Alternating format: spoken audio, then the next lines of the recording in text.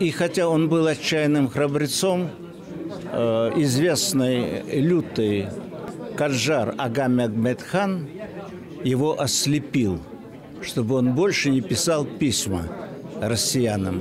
Но будучи слепым, он водил конницу, я до сих пор не могу представить, водил конницу в бой и побеждал. Когда я остался не просто на земле, Ваша деятельность, азербайджанское правительство, азербайджанский народ.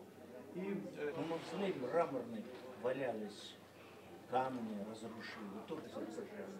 Я повторяю, низко кланясь, когда мы встречались, слово. Ну, а с тех пор, с тех пор уже я так бы, последние две